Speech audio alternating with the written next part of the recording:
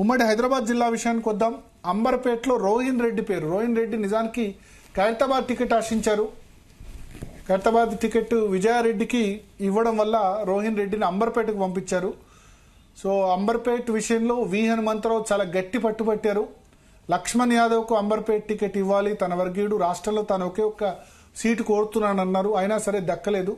అటు ఉత్తమ్ కుమార్ రెడ్డి కూడా నూతి శ్రీకాంత్ గౌడ్ మాజీ ఓబీసీ సెల్ చైర్మన్ కు ఇక్కడ నుంచి టికెట్ గురించి గట్టిగా ప్రెస్ చేశారు. వీళ్ళిద్దరి మధ్యలో రేవంత్ రెడ్డి వర్గీయుడైన రోహిన్ రెడ్డికి అంబర్పేట టికెట్ దక్కింది. ఖైరతాబాద్ నుంచి విజయారెడ్డి పీజేఆర్ కూతురుకి టికెట్ దొరికింది. జూబ్లీహిల్స్లో లో సంచలనం చోటు చేసుకుంది.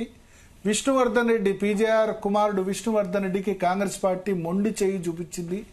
మహమ్మద్ అజారుద్దీన్ మాజీ ఇండియన్ క్రికెట్ కెప్టెన్కు జూబ్లీ హిల్స్ నుంచి టికెట్ కేటాయించింది మైనారిటీ కోటాలో. సో ఇప్పుడు విష్ణువర్ధన్ రెడ్డి మరి భారతీయ జనతా పార్టీలో జాయిన్ అవుతారా?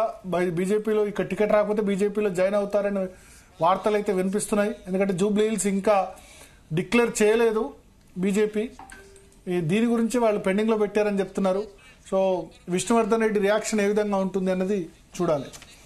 ఇక హైదరాబాద్ జిల్లాలోనే ఉమ్మడి హైదరాబాద్ జిల్లాలోనే మరో సీటు సికింద్రాబాద్ కంటోన్మెంట్. గద్దర్ కుమార్తె డాక్టర్ జీవి వెన్నెలకు ఈ కాంగ్రెస్ అధిష్టానం టికెట్ కేటాయించింది. కంటోన్మెంట్ నుంచి పిడమర్తి రవి పొంగులేటి వర్గీయుడు ఓయు ఉద్యమకారుడు టికెట్ ఆశించారు. బట్ గద్దర్ కుమార్తె వెన్నెలకు టికెట్ను కాంగ్రెస్ హైకమాండ్ కన్ఫర్మ్ చేసింది.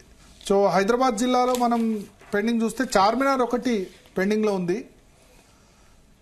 ఖైరతాబాద్ వాళ్ళు ఆల్రెడీ అనౌన్స్ చేశారు. విజయారెడ్డికి జూబ్లీ హిల్స్ అజారుద్దీన్కి అనౌన్స్ చేశారు. సనత్ నగర్ నీలిమ ఆల్రెడీ అనౌన్స్ చేశారు.